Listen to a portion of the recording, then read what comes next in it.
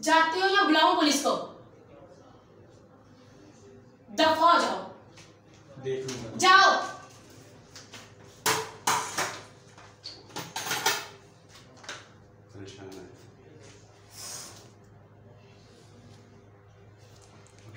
बोतल